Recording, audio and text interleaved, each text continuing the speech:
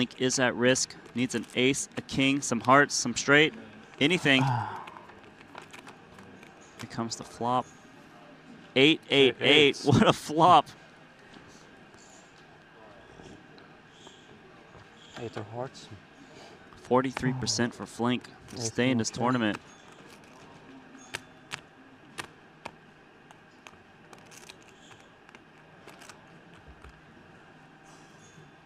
Turn card is the seven.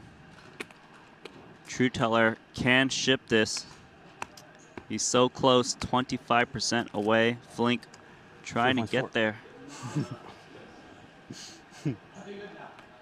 Here comes the river card. Come on. It's a seven, a full house on the board, but Kuznetsov's Yeah, got good game. eights full of jacks.